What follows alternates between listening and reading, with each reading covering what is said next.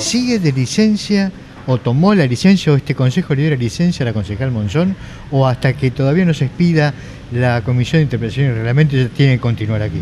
No, no, no está de licencia. Ella está, eh, digamos, siendo investigada por una comisión investigadora. Recuerdo un poco el tema. Ella en el mes de junio se fue un viaje de placer a Europa, que coincidió con el viaje que hizo el concejal Menéndez.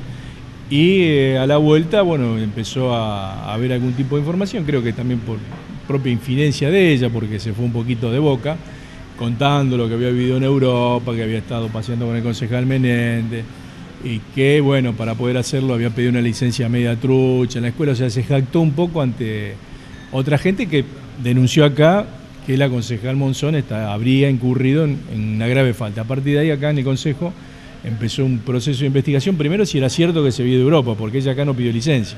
Se fue de 10 días, cobró el sueldo como si hubiese trabajado, y cuando nosotros nos enteramos que había ido, digamos, en un viaje a, Europa, entonces empezamos a averiguar y después nos enteramos por la denuncia de un, de un conocido de, de, del grupo Grande Merlo que además había pedido una licencia trucha. Bueno, a partir de ahí se originó una comisión investigadora que está actuando y nosotros por eso le negamos la licencia, porque queremos saber, ya sabemos que se fue a Europa, porque llegó el informe de migraciones donde certifica que ya cuando dijo que no se había ido, resultó que se había ido.